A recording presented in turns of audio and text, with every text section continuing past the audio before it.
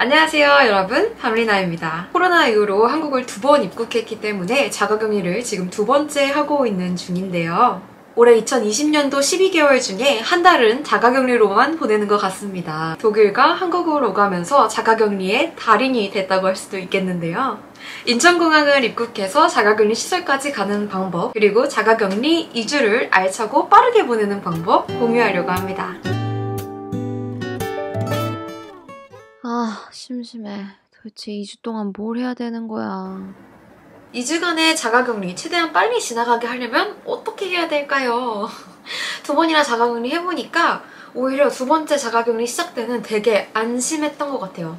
나 이미 해봤고 2주는 언젠간 지나간다. 그렇게 죽을 일이 아니다. 난 괜찮다. 이러면서요. 저는 폭풍 외출러거든요. 정말 외향적인 성격이고 그래서 승무원 일도 정말 잘 맞고 그런데 자가격리 어떻게 버텼냐? 저는 일단 자가격리 때 최대한 바쁘게 살려고 했어요. 정말 눈 코 뜰 새 없이 바쁘게 살았던 것 같아요. 가장 먼저 그동안 계속 미뤘던 일들을 드디어 처리했습니다.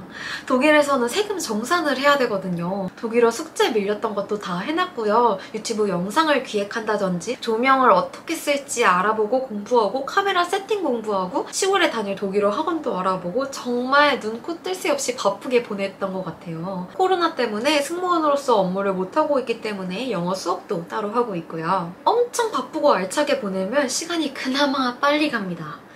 뭐 영화 보고 놀고 이런 것도 한두 번이지 빈둥빈둥 늘어져 있다 보면 시간이 더 안 가거든요. 그리고 에너지를 발산하지 않으면 밤에 잠이 안 와요. 그래서 최대한 뭔가 하고 막 밤에 스트레칭도 하고 운동도 하고 요가도 하고 막 바쁘게 살아야 됩니다. 그리고 시간을 보낼 수 있는 것 중 다른 거 하나가 신중하게 내가 오늘 먹을 것을 고르는 겁니다.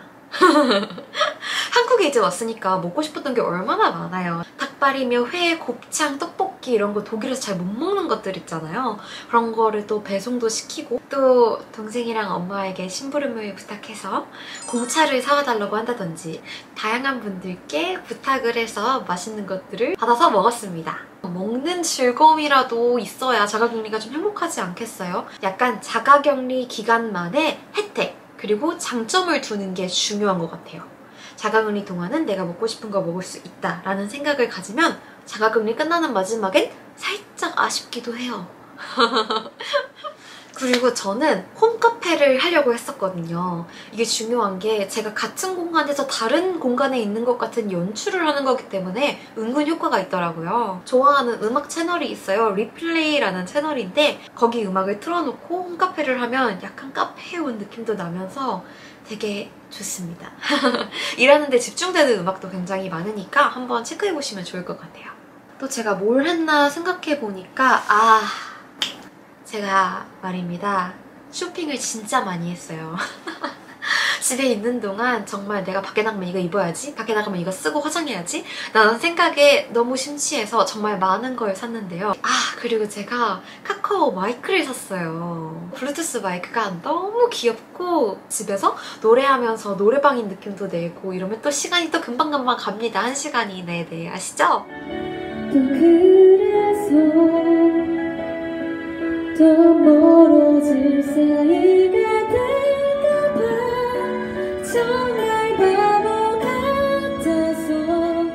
당근마켓이나 번개장터라는 앱을 굉장히 많이 이용하실 텐데요. 아, 내 주변에 살고 있는 사람들은 어떤 걸 파나 이렇게 슥슥 보는 재미가 있어요.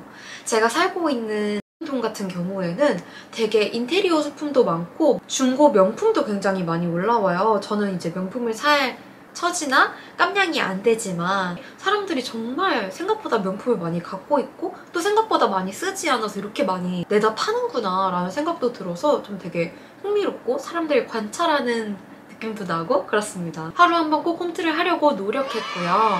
했다는 건 아닙니다. 사실 운동이 좋은 방법인 이유가 저희가 자가격리하면서 움직임이 훨씬 줄어들잖아요. 이 작은 고시원 방에서 하루를 다 보내야 하는데 근데 운동을 하면 운동하는 시간 1시간 그리고 샤워하고 뭐 잘 준비하는데 1시간 이러면서 2시간이라는 시간이 후딱 갑니다.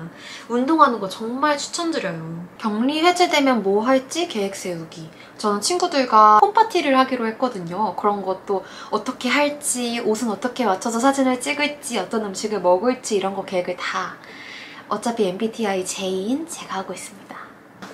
한 가지 더. 이건 약간 저만의 약간 이상한 취미 같은 건데요. 저희 집 밖에는 큰 도로가 있어요. 근데 5시 반부터 밖에 교통체증이 생기기 시작해요. 이제 사람들이 퇴근을 하는 거죠. 5시 반에서 7시 사이까지 밖에 굉장히 많이 막힙니다.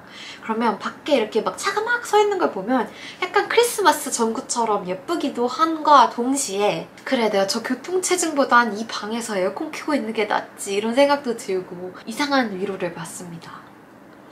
약간 사이코 같아. 어쨌든 뭔가 아 그래도 저 밖에 있는 사람들도 나 같은 답답함이 있다. 어떻게 보면 내가 나을 수도 있다. 난 오늘 하루 종일 일도 안 했잖아. 이런 생각도 듭니다.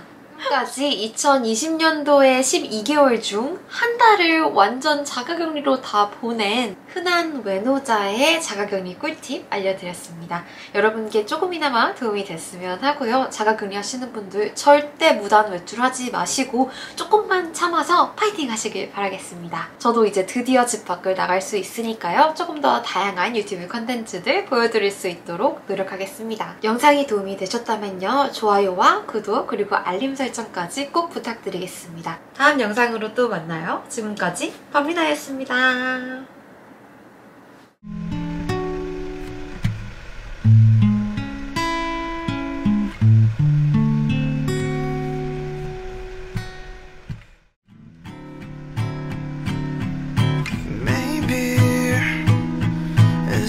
my place to say